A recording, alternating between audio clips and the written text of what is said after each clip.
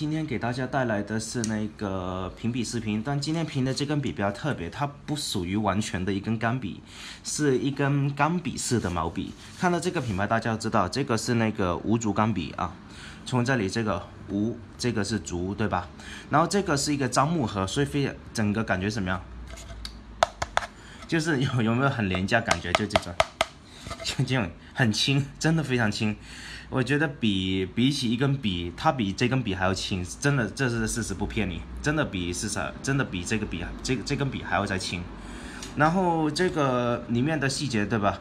呃，我是唯一跟有留包装好就这个，因为它是木盒的，纸盒通常我都扔掉了。然后这里就有三个凹槽嘛，就正正常的一个粘粘的位置就是一块几块木板，然后粘在一起而已了。然后再加磨一磨那个就是一个倒角嘛，加几个倒角，然后上面盖个印，对吧？做起来也不是很麻烦啊，然后这个先放一边吧，然后里面打开，哎，有一张纸，没有欧洲百利金的那种，没有百利金那种，就是欧洲那种笔，打开那种仪式感这么强，就非常高档，就是有一种惊喜感。但这种就一块纸铺铺出来，更有一种什么东西，一种什么感觉？呃，温柔之美。然后笔的话，对笔我放在一边了，主要是给大家看一下盒子。然后这个是那个呃说明书嘛，对吧？看到了说明书啊，然后再下来就是这样。那一个就是说墨兰，墨兰不在这，墨兰我拿给我我我在另外这个盒子拿给大家看一下。啊，对，因为我是用墨兰的，所以通常这样子，我就用这样子一个盒子装的。诶，对，啊，对，就这样子，因为镜头比较近啊。然后下来，它它墨兰其实还是挺好看的，有没有能看到？你看，嗯。你看到无足的墨兰，对，整个银色的，银色的。有时候我我上网看到有金色，但我不知道什么意思。然后看起来钢珠在这里，对，非常的精致。其实它它的墨兰给人感觉真真的是很花心思去做，就是说质量非常高，这种感觉。跟正常我平常用的是那个 Waterman 的，然后我拿一根短的给你们对比一下吧。嗯，我平常平常用这种长的，因为现在很多笔很多笔是怎么样，就是说。用真的直接用短的，真的就很少，就是像那个 Waterman 的 E.I 对吧？像那个很少的笔这种短的或者无印的短杆嘛，或者平常其实这一根长杆的无印的长杆的无印的话，它是可以用长的，不一定用短。但无印配那个是短，是为了主要它旧的那根短杆。那这时候下你看，这就是一个差别了。其实价格来讲，无足的还便宜一点。当然墨水这个肉眼上面看不出来，就不做任何评论。你看这墨囊差别很大吧？好，那个就好，差包装好，我们就讲到这里就差不多了啊哈，基本上没有别的东西，别的东西可以讲。那我们先把这个收一下，收一下的时候，首先是呃这样子，这根就是我们的笔了，对吧？黑色的，呃，特别的话还是挺特别，就整个它其实是树脂啊，但是有一种漆器笔那种感觉，就日本那种漆器嘛，大家应该都知道的。然后这根笔先给大家看一下这个尺寸啊。尺寸的话是这样子，呃，这样，OK，桌子比较小，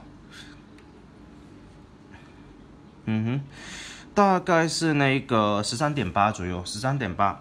然后直径的话，这个其实你们看到这个，你们能目测到，其实直径，所以通常我都不说。然后再下来就是这个笔怎么开的，插拔的，对，插拔的话就反正你喜欢毛笔怎么拿，就是这两根拿着，这两根拿着嘛，对吧？这样子。然后这两根的话，你要么就这样子，下面这里这样子顶着它，要么这根基本上很尾指，尾指很少用，尾指非常少用。那你也可以这样子，我觉得没有差别了，这个不是很重要，也是反正我平常也是拿钢笔那姿势来拿。那有些人会这样子，但是我拿拿有什么问题？你看到我这么拿，我平常是这么拿毛笔的，那我这么拿，你看，哎对，呃，我觉得不是很够长，就那种感觉，就非常短。如果你说我这样子。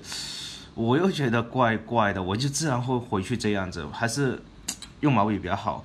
然后笔，你看到笔尖就是那种正常的那种叫叫什么呃那个尼龙笔，对吧？尼龙笔，呃，我把尺子放一下，然后打开一下灯给你们看，你看就正常的那个尼龙笔，呃，然后其他的地方的话就一样，等会给大家拆吧。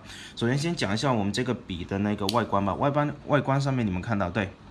有那个字，但这个字日语是什么意思？我不知道了。呃，我不会日语。然后这个是它的那个 logo 嘛，无足的 logo。然后金边，这个粗，这个细，看起来还是很有质感的。这个整个看起来，然后黑色的比较容易有指纹，对吧？如果现在打这么光的情况下，金夹啊，正常树枝，树枝以后，然后上面也是树枝，呃，这里主要是这一个比较特突出的就这个纹，它有很多字，这个叫好像叫那个石灰钢笔啊。然后你看到这我这个是签什么鹤，我忘记了哈，反正就是长袖的意思。给大家转几个圈看一看。然后看到这里没了，然后再回来，它这样子印上去，翻整个感觉是非常闪的。这个地方就是说它是有一个凹凸感的，它不是跟这里平的，它是另外再印上去的，所以有一个凹凸的感觉。呃，或者给大家看一下，看到凹凸感觉，你看这里翅膀这边还有个闪粉，应该是能看出来的，对吧？这里是银色的，就特别闪，然后这里是金色，然后指到这个位置，对吧？它是隐隐的这样子，可能啊，对，这样可能清楚一点，对。然后整根笔基本上这样子，主要最大的特点就在这里，还有它这两个金环，就是整个的，呃，怎么讲，配比会怎么样，给给你感觉非常温柔，整根笔。那这时候下来，先把这个笔拆了吧。当然不是整根这那那种拆啊，那种拆绝对会坏。那你看我我我还是用墨蓝的哈，有时候就方便嘛，对吧？然后正常的你也可以用吸墨器，吸墨器跟哪一个能配？呃，白金的，就 Pentium 的那个吸墨器可以配。然后这里。它这个东西我敲一下，很有那它金属的声音很清脆，所以说我觉得它的那个钢材的话会比较好一点。然后这里的话是这样子，你看到。里面的东西里面就更不用说了，非常的，反正是这根是应该是金属的，你看到里面银色的嘛，应该是金属，所以整根，然后两种材料嘛，应该一个是那个铝的，一个是那个黄铜的，然后基本上这样子，黄铜主要是耐磨损嘛，有一个好处，所以说整根笔的那个做起来的品控是非常用心的，日本笔，呃。怎么说？你看这里也是，里面的这些细节其实很到位。你看其他的比胶索或者什么欧系笔，有时候螺丝也会在里面的，呃，但是这根就没有了。所以说它是另外这里再直接这里压进去的。所以相对来讲，日本笔的主要买它买的是买的话，你买的是什么？买的是品控。欧系笔买的是什么？买的是一种品味，这就是一个差别。那日本笔品控稳定，所以说很少说，比如像百利金的出水啊，那个你懂的呗。就百利金如果有用有用过很多的同学都知道，就是说这个，所以这根笔的话，我觉得是还是一根比较好的笔。然后字的话，我写是这么大的，我给大家看一下。啊，对我写的是那个《道德经》，然后通常我写的话是这么大啊。比如说你们可以看一下这个字大小，大概是一点五、一点二厘米左右，对吧？你们能看到一点二？看一下这个“有”字，一点二。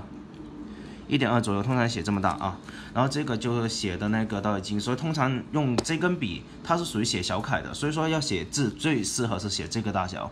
你要写写再大，其实就不太合适，因为这个你看这个这个尖其实也挺细的，对比一下，对吧？